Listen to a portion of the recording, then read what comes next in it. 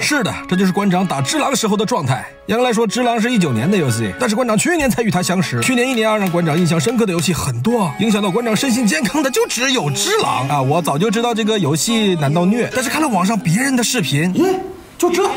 于是，后来我才知道，别人玩的是只狼，我玩的。是只哈士奇，不光 BOSS 打不过，小兵都很难。小兵终于过了，BOSS 输了，还要重新打小兵，而我连他妈路都找不到。不是我不努力，而是我努力了，节目就要停更了。面对着故事设计如此优秀的作品，面对着无数玩家这么想玩的游戏，我抬头问候了天上的宫崎英高。难道我就不配玩只狼吗？宫崎英高笑了，他用一个智者的微笑回答了：“你不配。”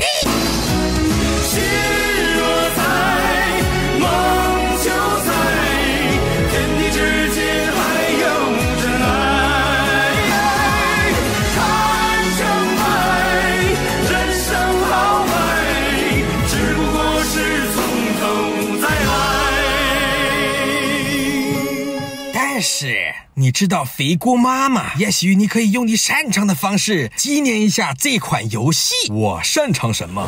白嫖。于是馆长在网上查了一下，只有 Max Factory 的 Figma 有正版的只狼的可动人偶。那么，无论是在失败中找到慰藉，还是在胜利中记录付出，最高规格的玩具都是最完美的纪念。然而，他跳票了。不知何时才能公布，国内竟连一个样品都没有。那么各位智狼的迷友，宫崎英高说的对，我最擅长的就是地狱难度的白嫖。我没说过。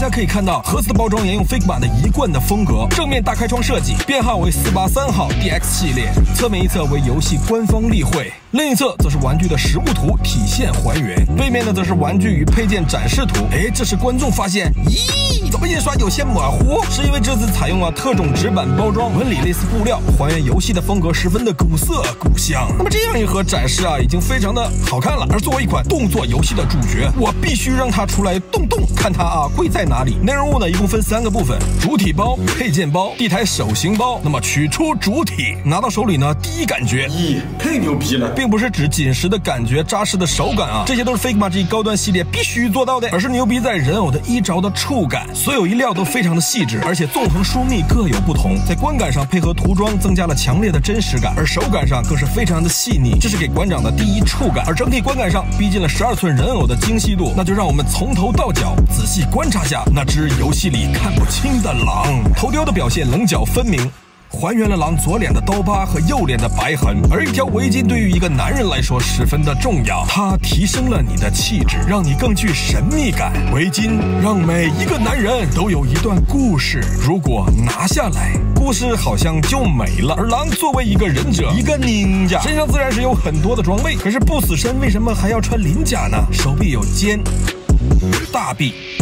手肘、手腕四个关节都为球关，可以让你的动作没有受限。而这里让馆长称奇的是，一个六寸人偶的小臂居然能刻画到每一根线。另一只左手就牛逼了啊！开局就被一人砍了，换上了忍一手。游戏中这只手骨头与机关的结合的设计，让馆长印象深刻，就像哆啦 A 梦一样，他可以从这个手里面啊，这个掏出各种武器。我更愿意称之为要你命三千。火刀、铁链、火药、硫酸、毒药、杀虫剂，每样都能独当一面。现在集中在一起，看你怕不怕？橙色的大褂是由不规则的七部分组成的，而且每一部分的 PVC 密度是不一样的。大褂底边残破的造型及涂装处理实在是太逼真了。衣服上也有两处关节啊，可以让你的大衣飘起来。正面看威风凛凛，背面看好像放了一个很强力的屁。咦，后面还有一个洞。哦这是插地毯用的，腿脚的刻画也是细致到了每一根线。原本啊，以为裙摆的受限，狼很难劈腿，没想到宁家还是宁家，轻松一字胯。后台幅度也很可观，脚不着地也是十分的优秀。这么棒的可动，就让我们来报复性的实现一些游戏里看不到的动作吧。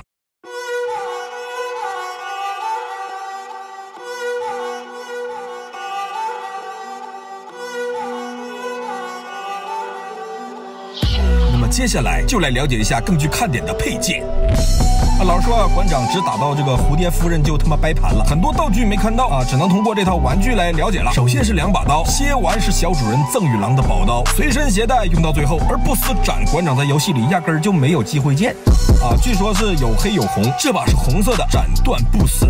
那么玩具的做工，观众们自己去品味。而这两把刀有什么不同呢？造型上，歇完短而直，作为打刀，适合近战及暗杀；不死斩更类似于大太刀。平安时代末期是苍莲时代蒙古入侵，为了便于马战，武士们更愿意使用太刀，它更长更弯曲，能彰显武士的腕力，所以歇完便代表了忍者的阴，而不死斩更代表武士的阳。玩具还附赠两只刀把，用于结合刀鞘佩戴，这样看上去就有了四把刀。钩绳大家都知道了哈，藏在左手，要你命三千里最常用的交通工具，让自己感觉更像死牌多美。能力越大，责任越大。那么另一版配件可以说是机关配件包，它们分别是机关枪、机关斧和机关伞。长枪主要是突刺攻击，拉近较轻的敌人，破甲较重的敌人；斧子主要用在破防，而伞主要用来防御攻击。而这一版配件包里最让馆长上头的还是这个鬼佛像，可以说是又爱又恨，既是传送点又是存档处啊！每每看到还没有点燃的佛像，代表着一个新的开始，而每次从头再来，就会从点燃的佛像开始啊！真是只狼虐我千百遍，我待只狼如初恋。那么我们换上手型，站上地台，来好好纪念一下那段从头再来的岁月。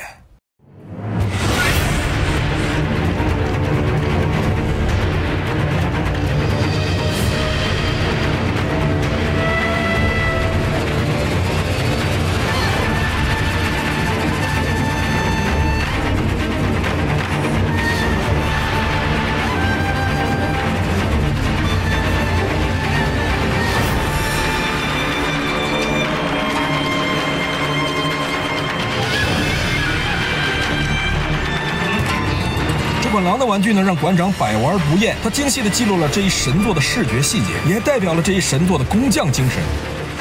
但是，只狼的故事所表达的禅意和设计上带来的震撼，是一款玩具远远无法代替的。玩了这款玩具，我又上头了，我又行了。这款神作值得我们再花一些时间，不就是从头再来吗？